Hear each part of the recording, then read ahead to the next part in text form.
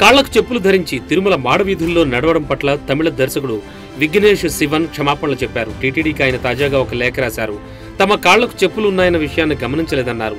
శ్రీవారిపై ఎంతో నమ్మకం భక్తి ఉన్నాయని చెబుతూ తెలియక చేసిన తప్పును మన్నించాలని వేడుకున్నారు. తిరుమలలోనే పెళ్ళి చేసుకోవాలి అనేది తమ కోరికని అందుకే గత నెల రోజుల్లో తిరుమలకు ఐదు సార్లు వచ్చి వెళ్ళామన్నారు కానీ అనివార్య కారణాల వల్ల మహాబలిపురంలో పెళ్ళి చేసుకోవాల్సి వచ్చిందన్నారు. దీంతో పెళ్ళైన వెంటనే నేరుగా తిరుమలకొచ్చి స్వామివారి కళ్యాణ సేవలో పాల్గొనాలి అనేది తమ ఆలోచనని అదే ఆలోచనతో తిరుమలకొచ్చి స్వామివారి దర్శనం చేసుకున్నామని చెప్పారు.